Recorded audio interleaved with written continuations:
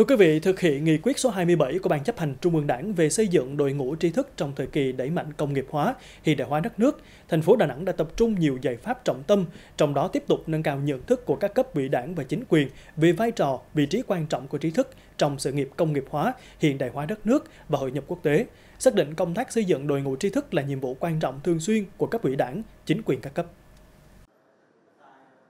Nhận thức được tầm quan trọng của việc xây dựng đội ngũ trí thức vững mạnh là trực tiếp nâng cao năng lực lãnh đạo của đảng bộ thành phố và chất lượng hoạt động của hệ thống chính trị. Thời gian qua, thành phố Đà Nẵng đã ban hành nhiều chính sách về trọng dụng, đãi ngộ. Đặc biệt, thành phố cũng tập trung triển khai thực hiện tốt đề án xây dựng và tạo nguồn đội ngũ cán bộ trẻ đảm nhiệm các chức danh diện ban thường vụ thành ủy, quản lý đến năm 2025 và tạo nguồn cán bộ chủ chốt thành phố những năm tiếp theo.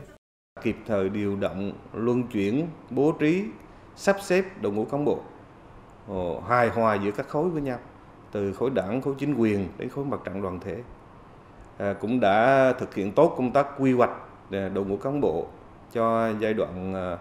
2025-2030 à, trong thời gian sắp đến. Đặc biệt là cũng đã ban hành cái đề án số 03 về nâng cao năng lực lãnh đạo và sức chiến đấu của tổ chức đảng gắn với xây dựng cái đội ngũ cán bộ thì trong đó tập trung ờ, vào công tác ờ, đào tạo bồi dưỡng cái đội ngũ cán bộ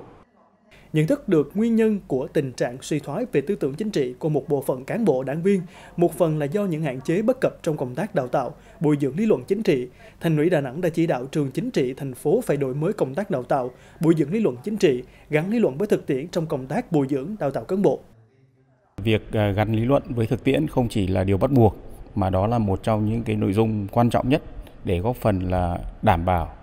coi đó như một cái thước đo về chất lượng giảng dạy lý luận chính trị. Thì đối với trường chính trị thành phố Đà Nẵng cũng như một số các cái trường chính trị khác thì cái hoạt động mà tăng cường cái tính thực tiễn trong mỗi bài giảng của các thầy cô giáo trong các chương trình là một cái yêu cầu bắt buộc. Một trong những cái nội dung quan trọng nhất của chúng tôi triển khai là đưa giảng viên đi nghiên cứu thực tế.